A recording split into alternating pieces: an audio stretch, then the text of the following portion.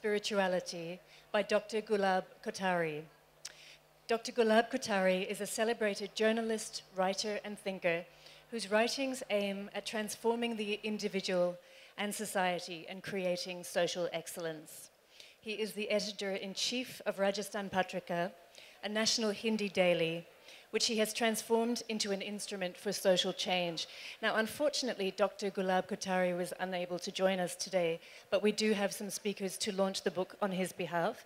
And I would like to invite, at this point, Mr. Praveen Nahata, DGM Rajasthan, Rajasthan Patrika, to the podium. Please join me in welcoming him to the stage.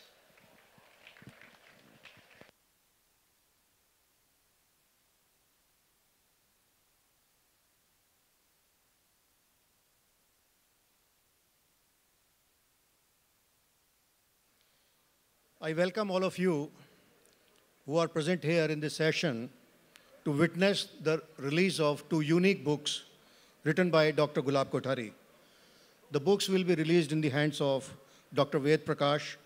Let me quickly introduce to you the author and our guest on the dais. First of all, I will call upon Shri Anand Joshi, who is a deputy editor, Rajasthan Patrika, and the editorial ombudsman, the first of its kind in the country. Dr. S.L. Gandhi is the international president of Anuvrat Global Organization, which is popularly known as Anuvibha. He has traveled extensively presenting papers and delivering lectures at different international conferences held in various parts of the world. He was also a panelist at the high level dialogue on inter-religious understanding and cooperation organized by the President of UN General Assembly at United Nations headquarters. Dr. Gandhi is an internationally acclaimed expert of peace and non-violence.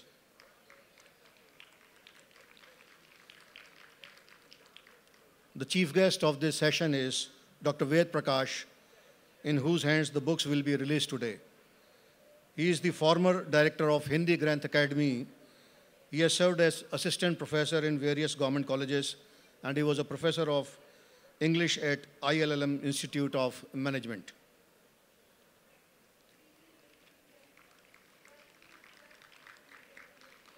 I also take this opportunity to say a few words about Dr. Gulab Kothari, who is uh, unfortunately not present because of health issues. Dr. Gulab Kothari is a celebrated journalist, sensitive writer, poet, thinker, exponent of Ved Vigyan, researcher, peacemaker, and above all, a spiritually elevated human being. He is the editor-in-chief of Rajasthan Patrika, a national Hindi daily published from 38 cities in the nine states of this country, which he has transformed into an instrument for social change. His editorial fearlessly expose acts of injustice intimidation, corruption, and promote reconciliation and harmony in the society. Dr. Kothari has authored several treatises on varying aspects of Ved Vigyan, a new dimension of Vedic philosophy.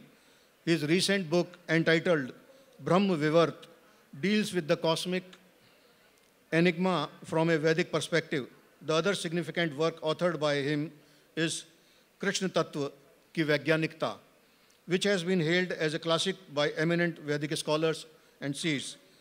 He has traveled widely delivering lectures and presenting papers at a number of international conferences held in the different parts of the world. Dr. Kothari is also the founder of founder president of Pandit Madhusudan Ojha Institute of Vedic Studies and research affiliated to Rajasthan Sanskrit University for postdoctoral research. Dr. Kothari has been honored with many awards, and the most prominent of them is the Murti Devi Award by Bharatiya Gyan Peeth. I now request Anand Joshi to say a few words about the book Brahma Vivart.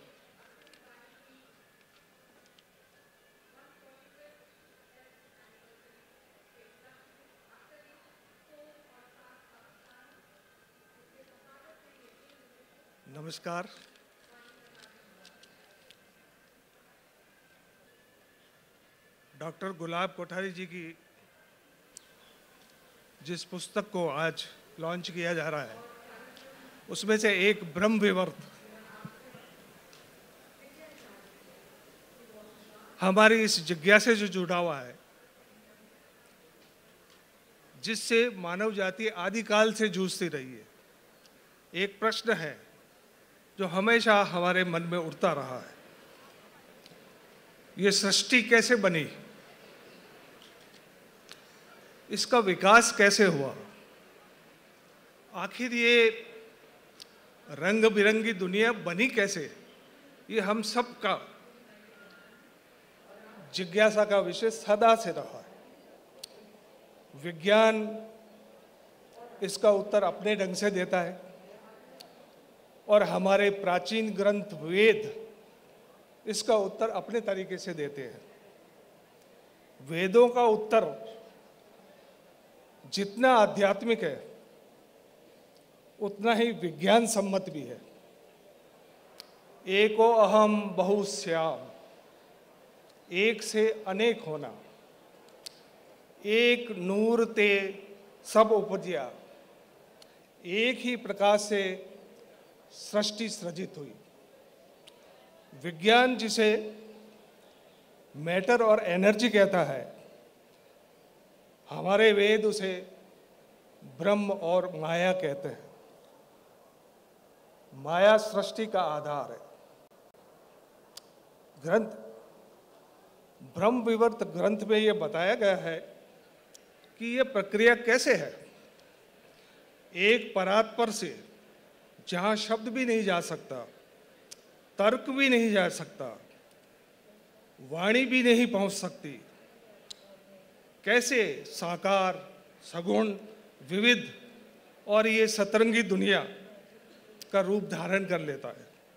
ये आत्म तत्व इस ग्रंथ का एक तरह से यही सार है कि कैसे ये सृष्टि इस तरह से बनी।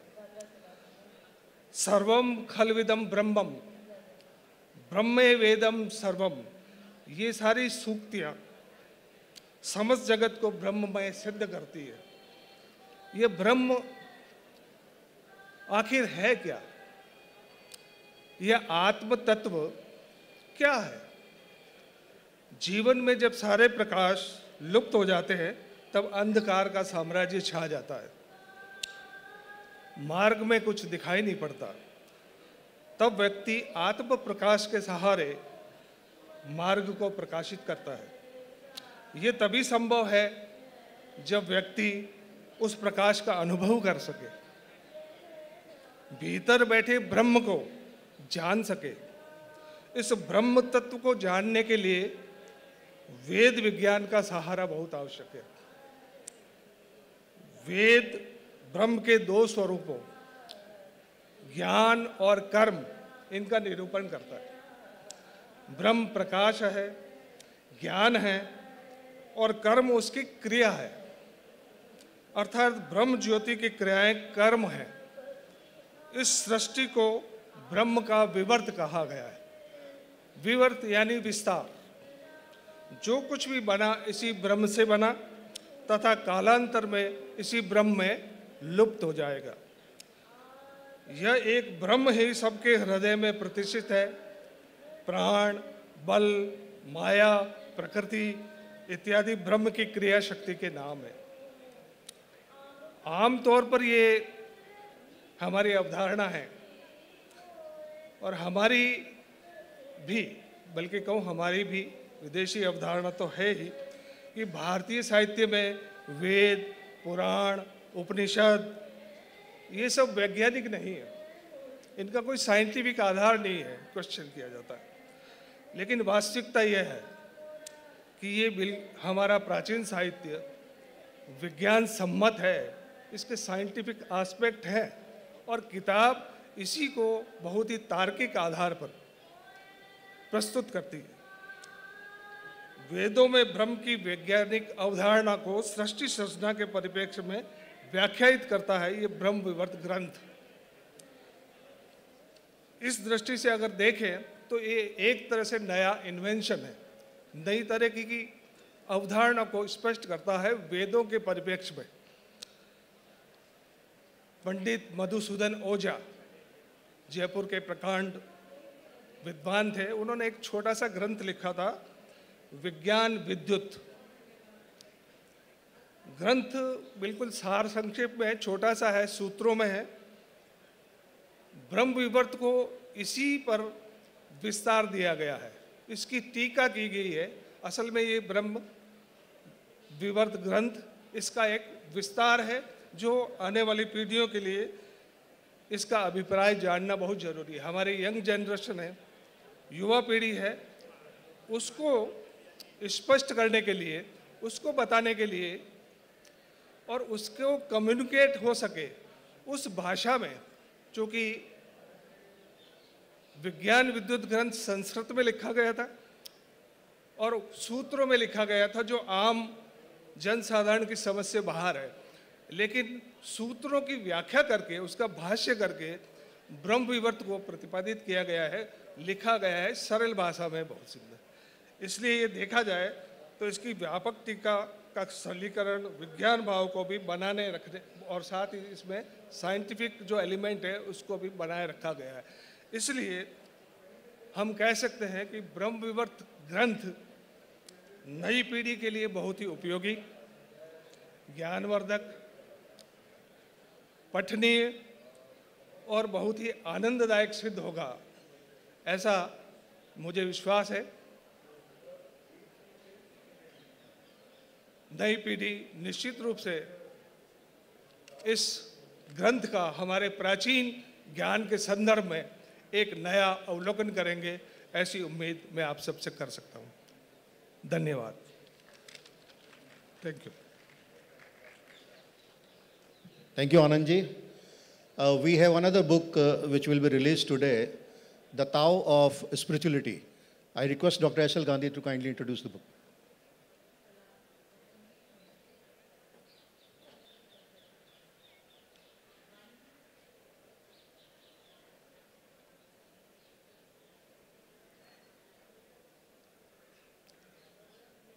Friends, Here I am going to introduce the book to be released. This is the second book being released today, and the title of the book is Tao of Physics, Tao of Spirituality. Perhaps many of you have already heard of a very renowned book by Fritjof Capra, which is called The Tao of Physics. Dr. Kothari has entitled his book Tao of Physics, Tao of Spirituality. Now, this book analyzes the four human pursuits, Purushartha Chatushtaya. This world is full of suffering. Everyone is unhappy whether he is rich or poor. Dr. Kothari analyzes the four pursuits of human life in poetic language. It's a collection of four narrative points, and he chooses each pursuit and then gives his comments. The first pursuit of human life is desire. Desire is the basis of creation. Desire regulates the world. If we do not have any desire, the world comes to, a, comes to an end. So desire is the basis. But how should this desire be nursed? How should it be allowed to operate? Within a limit. This desire can degenerate into lust. So Dr. Kothari uses very simple words in his poetry. It's the English rendering of his poem, Purusharth Chatushthay, which has also been awarded by Bharatiya Gyan Now, while talking of the second pursuit of human life, that is arth, wealth. Man's objective is to pursue wealth, but without wealth also, without uh, money, we cannot exist in this world. Money has its own value, desire has its own value, but there ought to be a balance between all these four pursuits. When you transcend the limits set by the Vedic precepts, then misery comes to your life. So if you want to live a happy life, the book shows you a way. That is, you should try to live a restrained life. Should not allow yourself to be a self-willed, scot-free person who would like to do anything which his desire dictates to him. Since the book shows you the path to spirituality. Without spirituality, a human being cannot live happily. Materialistic pursuits are also necessary, but there ought to be limit to everything. When you act wantonly in a self-willed manner, you not only create misery to yourself, but you also make the lives of other people miserable.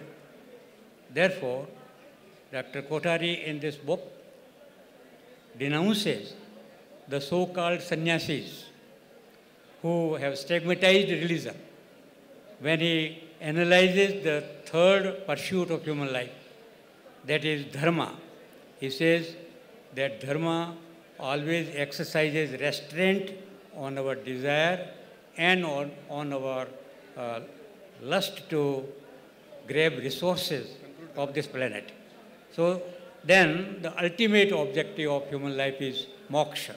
So he very beautifully tells us that if you want to achieve moksha, then we have to live within our limits. We have to live a restrained life. Thank you.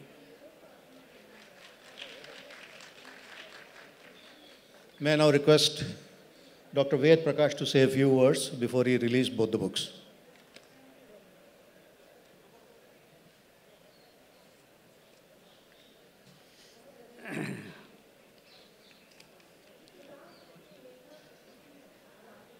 These days, there are many people, especially those obsessed with technology, they believe that literature and literary works are not important and they underestimate their abilities to stand the test of time and give us great knowledge. But when you come to a literary festival like this, you realize that despite the explosion of technology, many people are still passionate about literature. To me, literature serves as a gateway to learning of the past and expanding my knowledge and understanding of the human condition. I am therefore happy to be present on this occasion of the release of Gulab Kothari's The Tao of Spirituality and Brahmvrat. Dr. Kothari is a man of many parts, a multifaceted personality and creative genius. He has written a large number of books on diverse topics. Vedic thought pervades most of his writings. His eminently known treatise Manas, which runs into 12 volumes and has been translated into 13 languages, including English, fathoms the infinite depths of human psyche, the pathos of man's isolation, and gives deep insight into human nature. It can be reckoned as a paradigm of formative literature that represents the ideals enshrined in the Vedic philosophy and Indian spiritual heritage. Dr. Kothari has studied the Vedic treatises and scriptures in depth, and they make their profound presence felt almost everywhere in his fostering ambience. His works are an auspicious endeavor to perceive the subtle from the gross.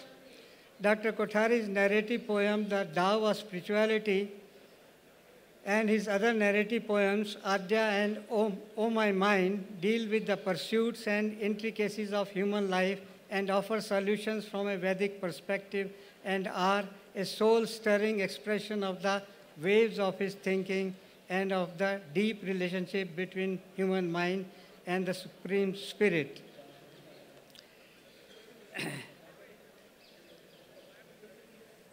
the other book, which is going to be released today, Brahm is a detailed commentary and simplification of Madhusudan Ojha's treatise Vigyan Vidyut and deals with the scientificity of the expanse of the universe with a Vedic perspective. While simplifying the subject, Dr. Kothari has kept the sci scientific aspect intact. His purpose here is to pave the way for the reader to easily access and understand the message of Vedas, that this universe is essentially a part of Brahm. Both the books make a fascinating reading. Like Dr. Kothari's other writings, they aim at transforming the individual and society and creating social excellence. I am sure the enlightened readers will find both the books to be of high value for they address human nature and conditions which affect all people. I wish Dr. Kothari all the best in his present and future ventures. Thank you.